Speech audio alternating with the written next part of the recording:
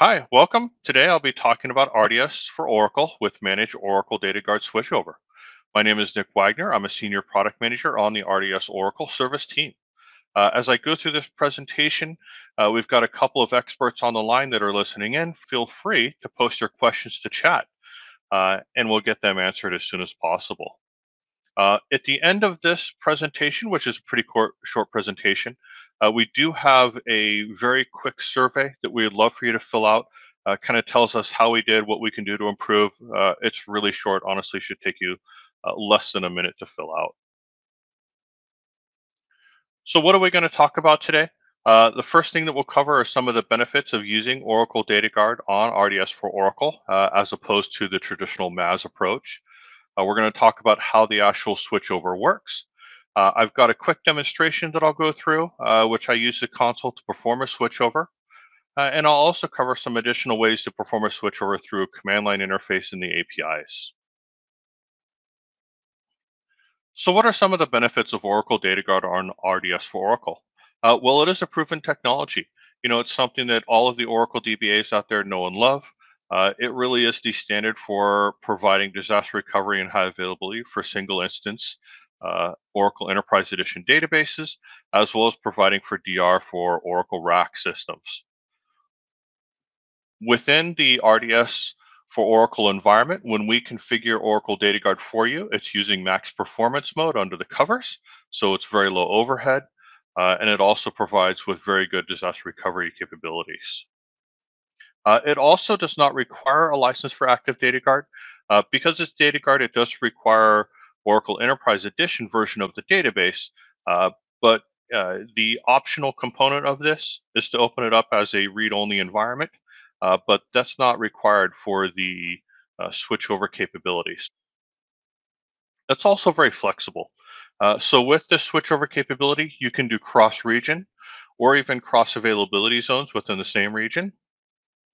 And it also allows for you to create multiple replicas or standby databases. Uh, when I go through the console uh, and show the demo, um, I'm only going to use one replica, but when you go to actually perform the switchover, you decide which replica or which standby database you'll be switching over to in the process. So what are some of the use cases for DataGuard?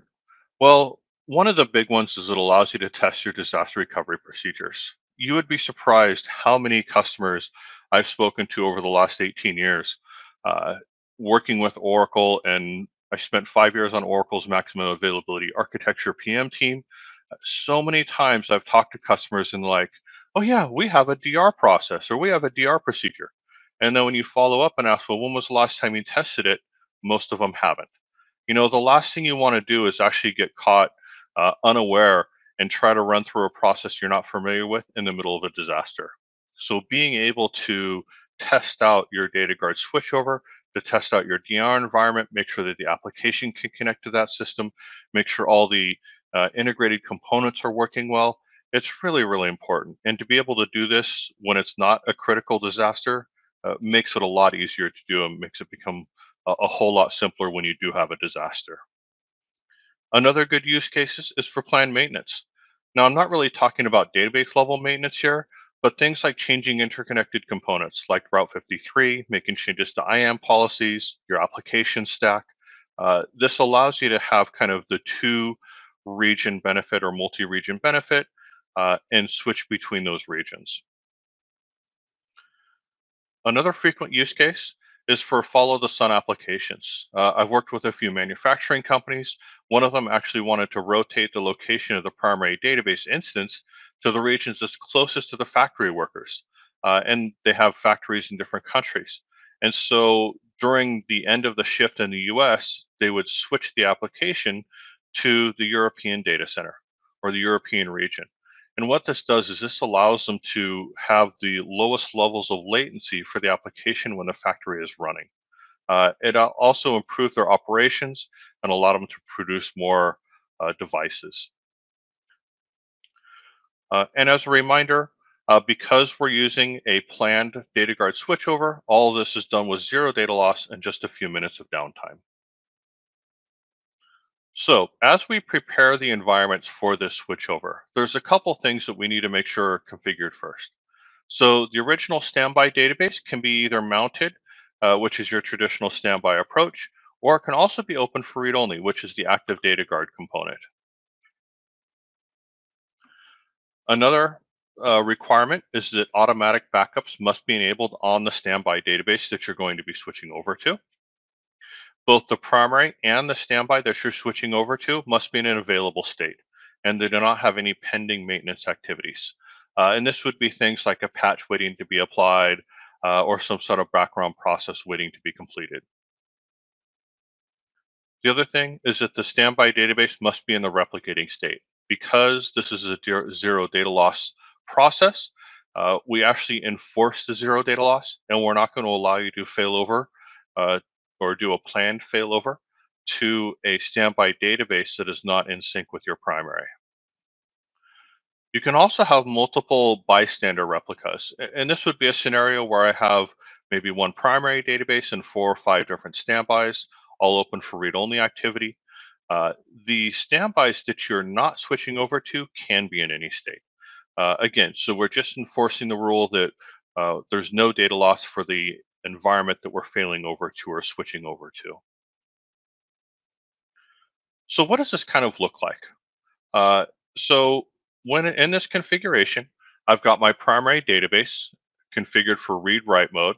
I've got asynchronous replication using max performance going over to my replica or my standby.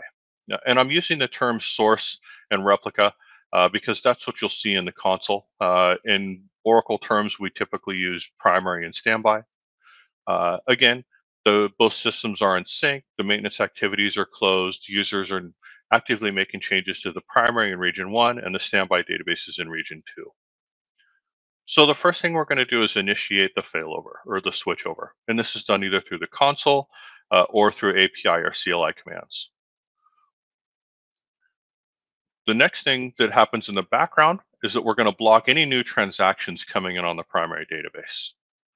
We're going to then ensure that all transaction logs and all tra following transactions are moved over to the standby database.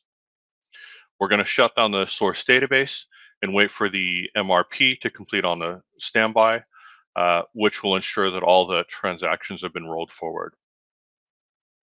Once that's done, uh, we complete the role transition on the standby. The standby is then opened in a read-write mode, and then you can begin activity on that system again. So again, it's pretty straightforward, uh, very simple in how it works. Uh, but because it's done all through a single button click, uh, it's a completely managed process. In the background, because we want to make this, uh, again, as seamless as possible and we want to do the right thing, uh, we're following Oracle's best practices we're not we're now going to convert the original primary into a standby database. We actually set up that environment and rebuild it.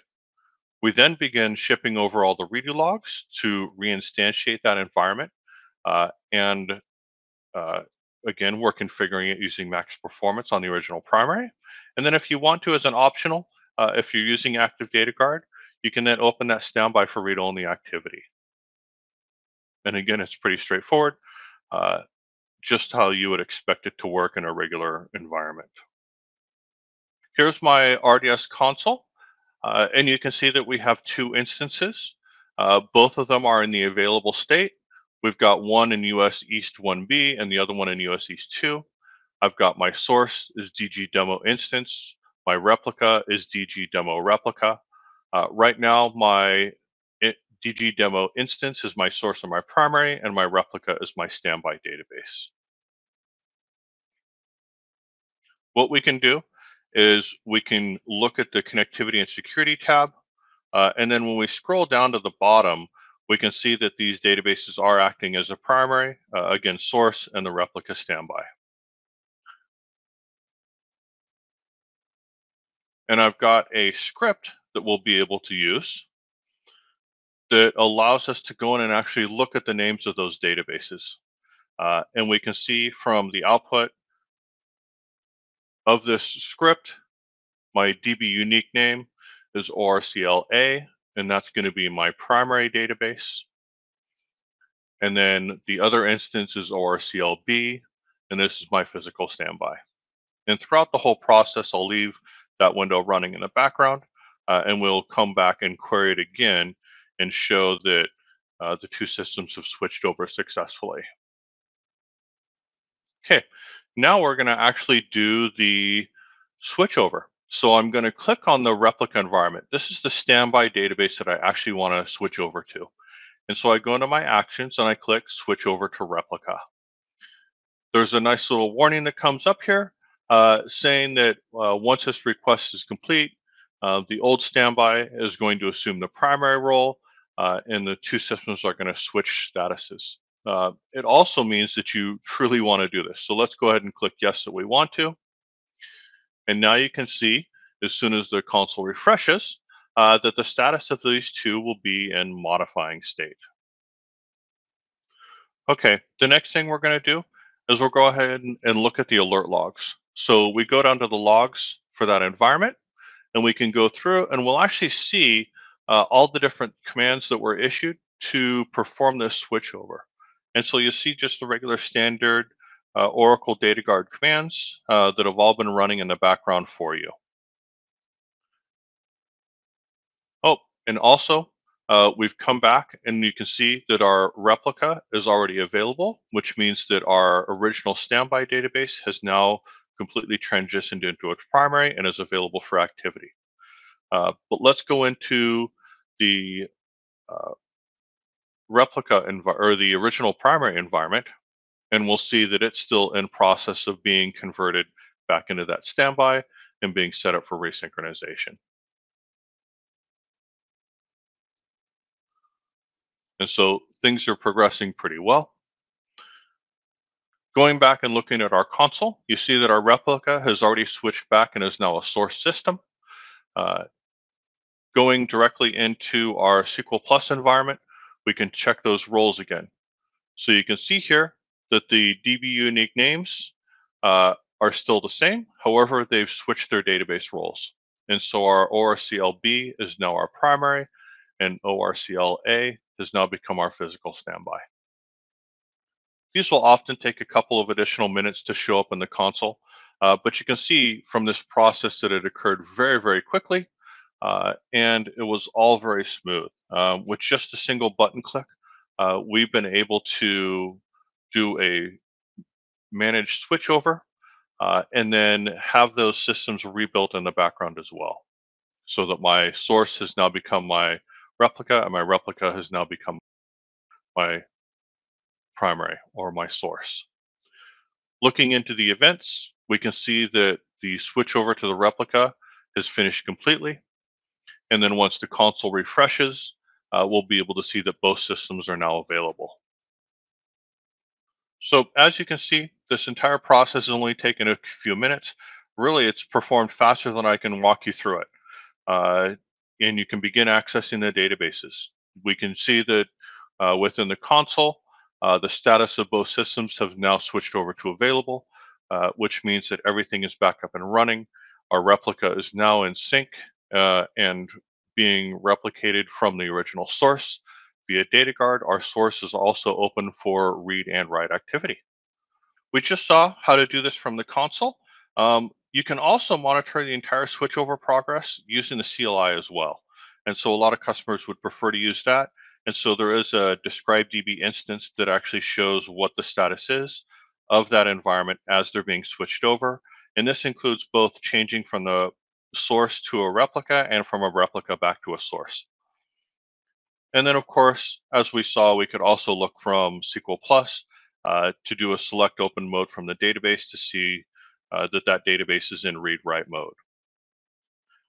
And that's the end of the presentation. Thank you so much. I really appreciate your time for sticking around.